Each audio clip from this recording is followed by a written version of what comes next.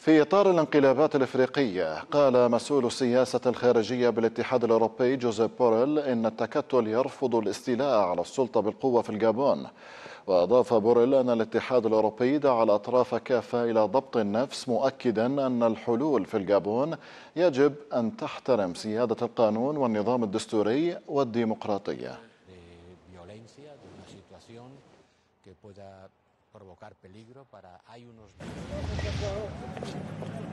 مثلما تفشى في العقد الثاني من الألفية الثانية ما يسمى بالربيع العربي في أكبر البلدان العربية.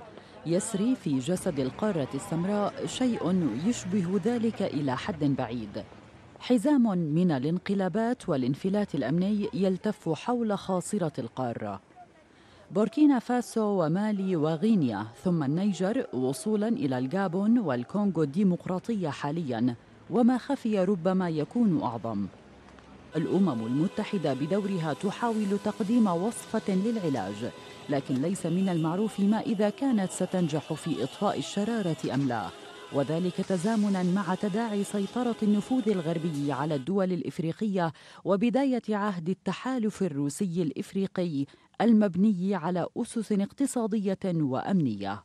ويرى أنطونيو غوتيريش أن العديد من الدول الإفريقية تواجه تحديات عميقة في الحكم لكنه في ذات الوقت لا يرى أن الحل عبر الحكومات العسكرية داعيا كل البلدان إلى إنشاء مؤسسات ديمقراطية ذات مصداقية ودولة قانون.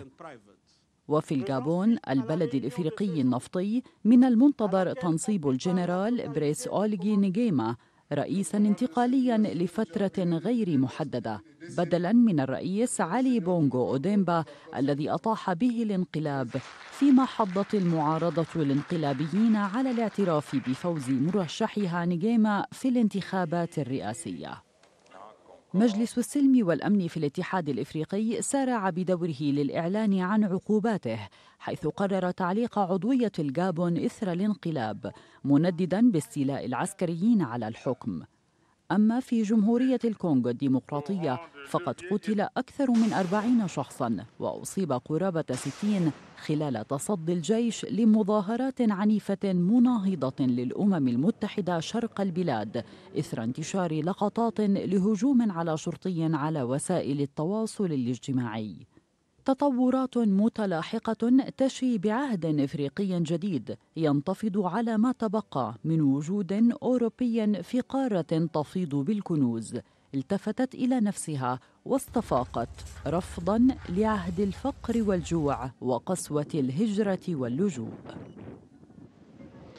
الانقلابات العسكرية في إفريقيا بين عوامل الصحوة وخلع الاستعمار أو الانحدار في مستنقع الحروب الأهلية وصراع السلطة. كل هذا وأكثر من أسئلة نحاول الإجابة عليها مع ضيفنا من القاهرة الباحث في مركز الأهرام للدراسات الأستاذ صلاح خليل. أهلا بك أستاذ صلاح. يعني نبدأ من ما يحدث يعني في القارة السمراء. هل هو انتفاضة يعني على بواقي الوجود الفرنسي أم هي صحوة إفريقية؟ بلا شك اولا التقرير الذي أفرد بأن هنالك ربيع إفريقي كما حدث أو ما شابه الذي حدث في كثير من الدول العربية.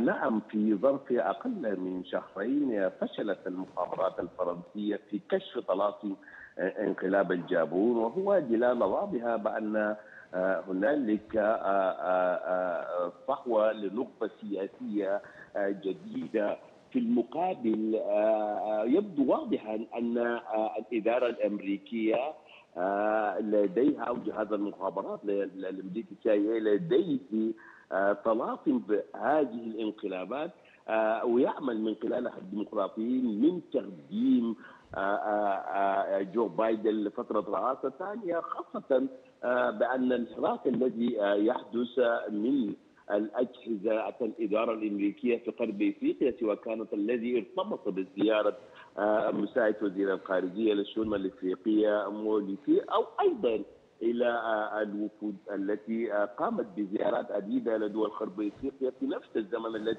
تزامن فيه انقلاب الجابون. جانب آخر أيضا يتعلق بأن ال CIA لديها ضلع فيما يحدث في النيجر وفي الجابون وأيضا ربما يستمر الانقلابات تشمل دول أخرى مثل ساحل العاج وأيضا ربما غينيا يعني أستاذ صلاح فقط يعني أعتذر على المقاطعة. أنت تربط بما يحدث اليوم يعني في إفريقيا بشكل عام من انقلابات عسكرية تحدث على السلطة بالسي آي إي الأمريكي وكالة الاستخبارات الأمريكية. لكن هناك أيضا من يربط ما يحدث بنفوذ روسي جديد في المنطقة. لا أعتقد النفوذ الروسي بهذا المستوى الذي يحدث تحدث انقلابات في فترة وجيزة، نعم هنالك وجود روسي في العديد من الدول الإفريقية في الجابون وأيضا في مالي وأيضا في النيجر وفي بوركينا فاسو وحتى في غانا. ولكن في الواقع تشير بأن في حراك هناك حراك أمريكي ضخم جدا. في الوقت الذي تنادي فيه فرنسا بعودة الرئيس محمد بازوم من السلطة في النيجر نجد أن الولايات المتحدة الأمريكية تقوم بتعيين السفيرة الجديدة جاستين جوتيس إلى النيجر وتصل وتلتقي بالعديد من القوى السياسية، اذا الولايات المتحدة الأمريكية تعمل من أجل مصلحتها مصلحتها اولا حتى إذا كانت مصلحتها مبنية على حلفاء لها أوروبيين وأنت تعلم جيدا بأن كيف استطاعت الإدارة الأمريكية والولايات المتحدة الأمريكية في إفشال صفقة القواصات التي كانت ترغب استراليا شرائها من فرنسا وفرنسا حليفة للولايات المتحدة وكيف استطاعت الولايات المتحدة تلعب دورا كبيرا في إلقاء الصفقة، اذا الولايات المتحدة الامريكيه لديها مشروع ضخم لمزاحمة المشروع الروسي الصيني وأيضا حتى لو كان ذلك على حساب حلفاء لها اوروبيين. نعم روسيا والصين متواجدين بكثرة والولايات المتحدة تتقوف تسأل سؤالا مباشرا لماذا الصين والولايات المتحدة الأمريكية تستفيد من الثروات والاقتصاد افريقيا الضخم ونحن على مقربه من السواحل الإفريقية. هذه الأسئلة ربما هي دفعت وكالة الاستخبارات الأمريكية سي أن تكون حاضرا وأن تكون نعم. متواجدة وهي لا تفكر في عودة مثلا على سبيل المثال عندما تأتي فرنسا إلى عودة الرئيس. الذي تم الانقلاب إليه محمد بازوم في النيجر تدعي الولايات المتحدة إلى إطلاق سراحه وهو هنا دلالة وإشارة واضحة بأن الولايات المتحدة الأمريكية لديها لديها دور كبير فيما يحدث في غرب إفريقيا من الانقلابات. شكرا اذا الباحث في مركز الأهرام للدراسات الأستاذ صلاح خليل شكرا جزيلا لك.